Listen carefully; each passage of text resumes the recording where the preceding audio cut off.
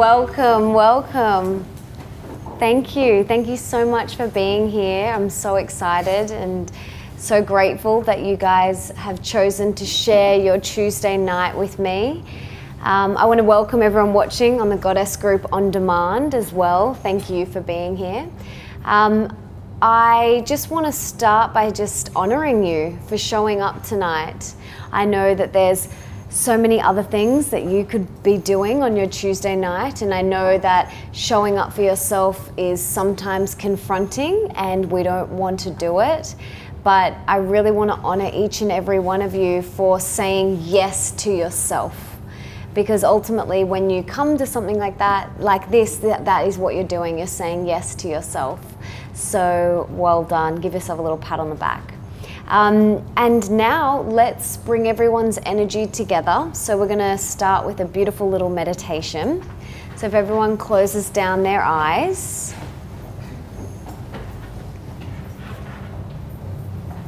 And just place your hands in your lap or on your thighs, whatever feels good for you. And together we're going to take in a big, deep breath in through your nose. And slowly exhaling out through your nose. Take another deep inhale through your nose and slowly exhaling out. Inhale. And exhale out through your nose. And maybe these are the first deep belly breaths you've taken all day. So, really just soak them up. Continue to do your deep, long in and exhalations, extending the breath a little bit longer on each one.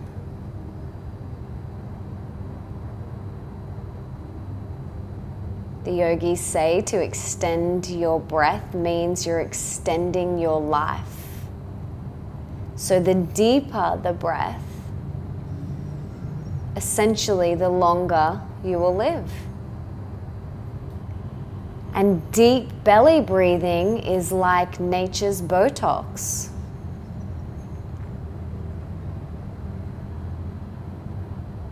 It takes years off your life.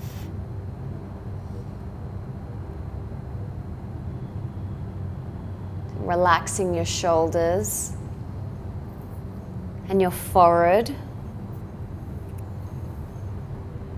And just making sure you've got no tension in your body. And if you do have any tension in your body, just simply choose to let that go right now.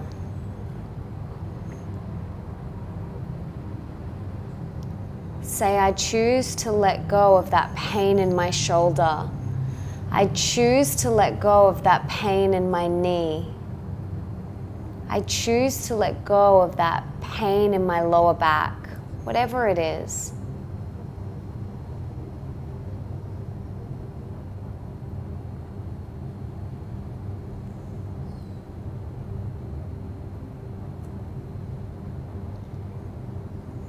If you have any mean girl thoughts that have come popping up in your mind, simply let them go and return back to your breath. You might have one every few seconds, and that's okay. Every time she pops up, just simply let them go and return back to your breath. Know that thoughts are a part of meditation And it's not about having no thoughts, that is impossible. Instead, it's about when those thoughts pop up, how quickly you can let them go and return back to your breath. So a thought pops up, we let it go, we return to our breath.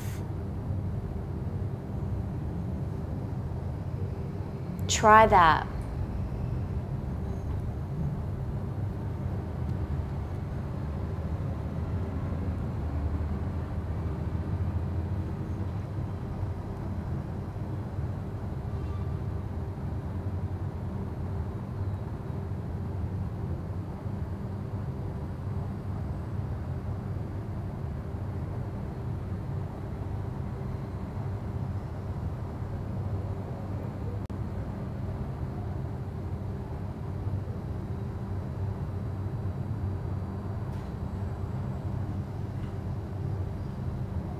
Keep letting them go.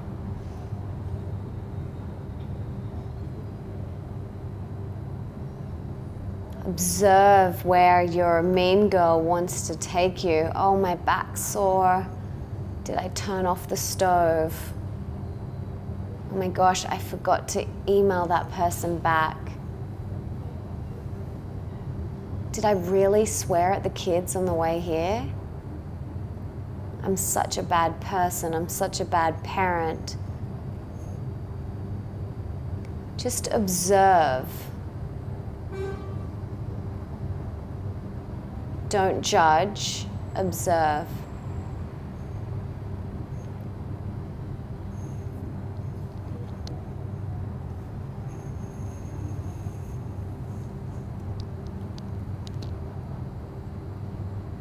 Taking a deep breath in through your nose.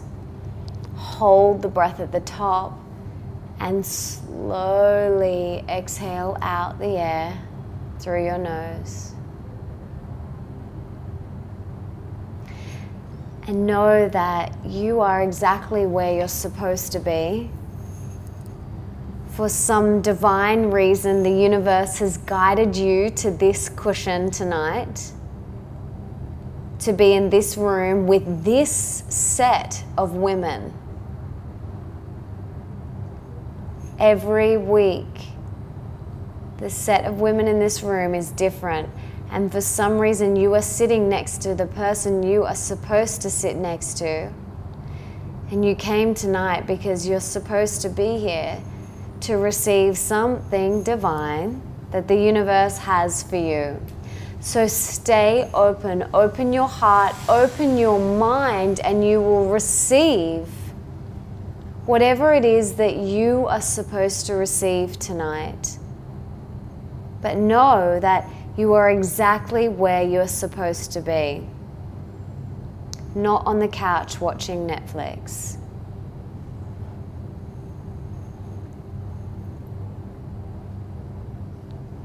And you showed up. You showed up for yourself. So well done. Inhale that beautiful divine air in through your nose and exhale any expectations. Inhale deeply, breathe it up, and on the exhale, we're going to sigh it out, let it out, and sigh it out. Ah. Beautiful. You can do better than that. Inhale, breathe it up. Breathe, breathe, breathe, and sigh it out. Let go of your day. Nice. One more time. Breathe it up. Breathe, breathe, breathe. Let go of your day and let it out. Beautiful. Now, placing your hands in prayer position at your heart center and feeling your thumbs connecting with your sternum. Feel that connection. Feel your palms pressing toward each other, balancing the masculine and the feminine side of your body. Feel that connection.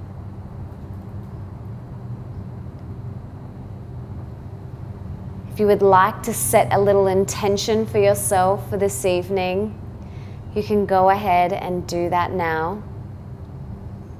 Maybe it's to be present, to be open, or to let go of expectations. Whatever it is, set that intention now.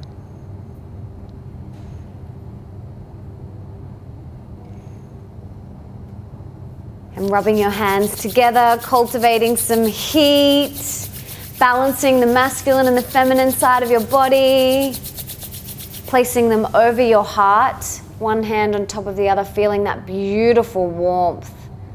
That, my darling, is the truth of who you are.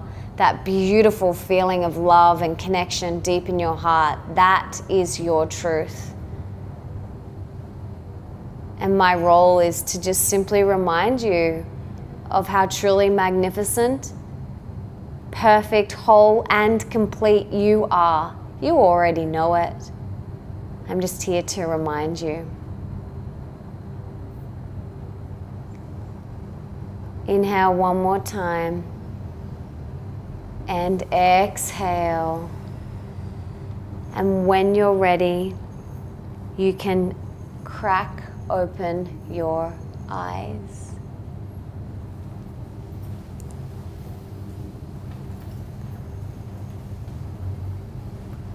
Nice.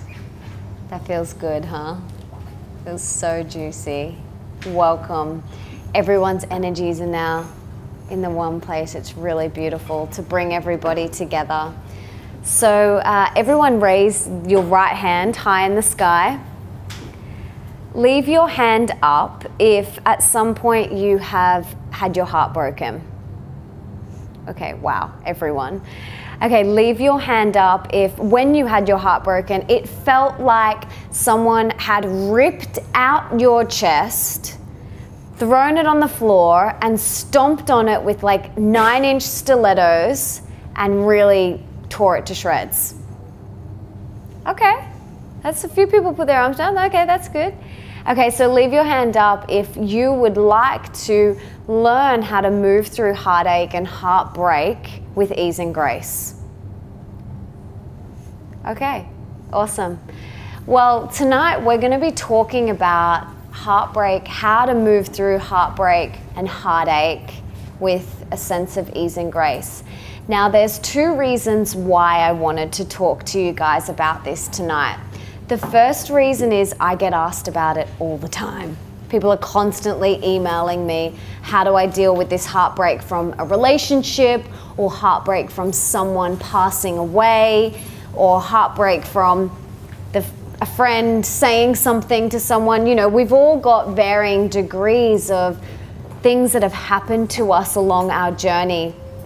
So um, that's the first reason why I wanted to talk about this. Is I'm constantly asked, emailed, people commenting on my Instagram asking me about this stuff. So I thought it'd be a perfect forum to chat about it with you guys here tonight. And the second reason is I've had my fair share of heartbreaks. So I want to share with you how I move through those really challenging times with a sense of ease and grace. Um, so, does that sound good? So, before we dive in, I want to share a little story with you. Uh, in my early 20s, I was dating this guy that I was really madly in love with and I thought we were going to get married. We went to Paris, which we did the whole cliche, went into Tiffany's, tried on engagement rings, all of that.